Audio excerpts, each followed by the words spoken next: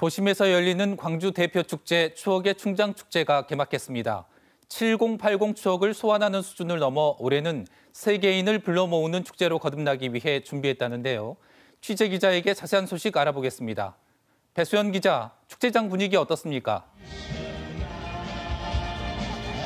네, 저는 축제 개막식 행사가 열리고 있는 옛 도청 앞 5.18 민주광장에 나와 있습니다. 지금도 축제 개막식이 진행 중입니다. 이곳 금남로와 충장로 일대에는 축제를 보려는 시민들이 모여들고 있는데요. 가족이나 연인, 친구와 함께 오랜만에 대규모 축제를 찾은 모습도 많이 보입니다.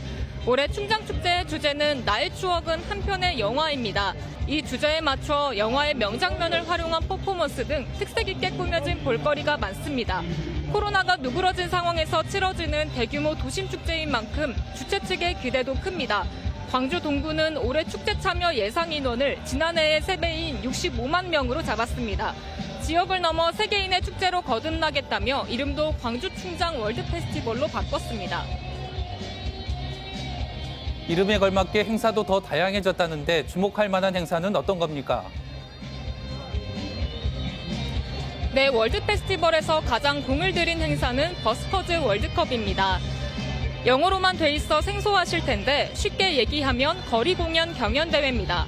축제 개막 전부터 국내외 거리 음악가 120개 팀이 열띤 경쟁을 이어갔는데요. 본선에 오르는 16개 팀은 오는 17일 축제 폐막식과 함께 치러지는 결선 무대를 장식할 예정입니다. 또 충장축제의 백미인 거리 행진, 월드 퍼레이드도 빼놓을 수 없는데요. 올해는 해외 참가팀까지 더해져 4,500여 명이 영화와 추억을 주제로 15일과 16일 오후 4시부터 금남로 거리 행진에 나섭니다. 이 밖에도 세계 음식문화 페스티벌과 추억의 테마거리 등 다양한 볼거리와 즐길거리가 마련됩니다. 축제는 오는 17일까지 계속됩니다. 지금까지 광주 충정축제 현장에서 KBS 뉴스 배수연입니다.